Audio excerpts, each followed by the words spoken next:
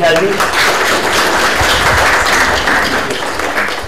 हमारे हर भाई, उनको अनुरोध करता हूँ आप आइए और अपना सम्मान करते हैं।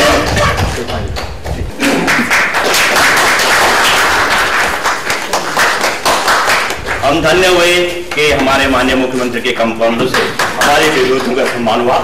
और क्योंकि मुख्यमंत्री की जगुड़ी जी वो समय थे, लेकिन अभी तक वो प्रतिमा सुमन जी की